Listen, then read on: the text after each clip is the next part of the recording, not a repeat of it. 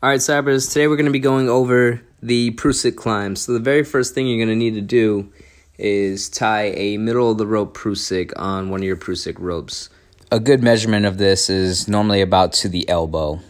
Of course, you don't want no twist in your rope, and you want to make sure that when you wrap that Prusik around your climbing rope, that you have no more than six inches from the bottom of the Prusik.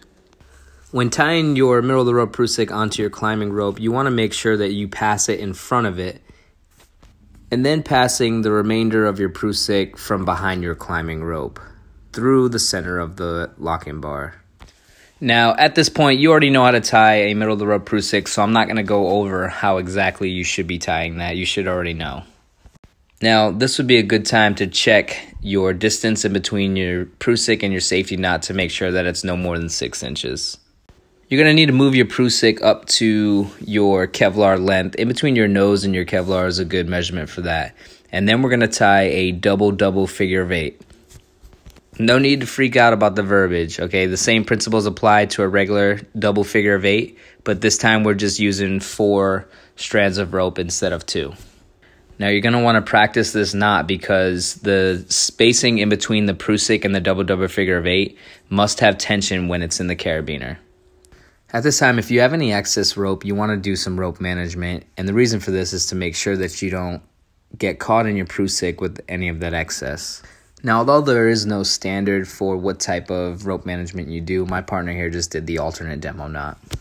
At this point, we've created our Prusik for our body, but now we need to create our Prusik for our foot stirrups.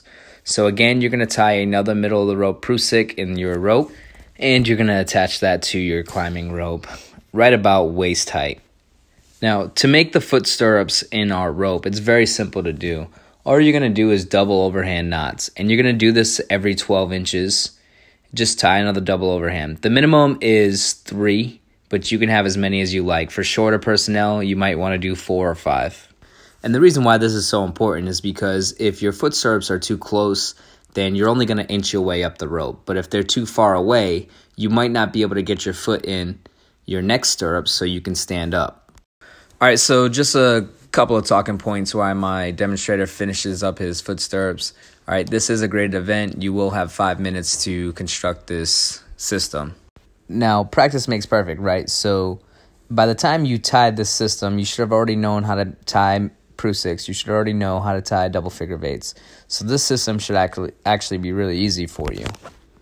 Now I'm going to play a little bit of music for you so you don't get bored while he's tying this up, getting ready to climb.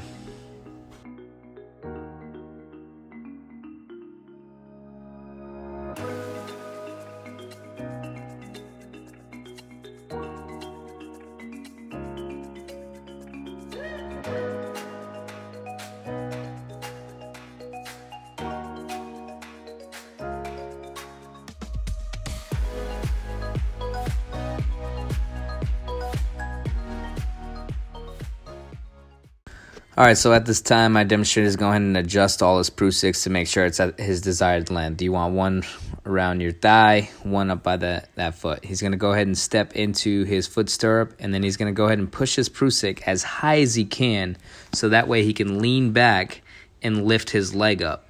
When he does this, he can then stand up on that foot stirrup, take the pressure off his top Prusik, and then go ahead and extend it as high as he can. From this point, he can sit back as far as he wants and go ahead and relieve the pressure off his foot stirrup. Once he does that, he moves up the lower foot stirrup, steps up, and continues this process till he's all the way at the top of his rope. Now, what you can see is him demonstrating how sturdy these Prusiks actually are. It's holding his full body weight as he leans and takes a breather. Now, to come down, if you want to descend, you do the same process but in reverse. So you would go ahead and sit back lower your foot stirrup just a little bit.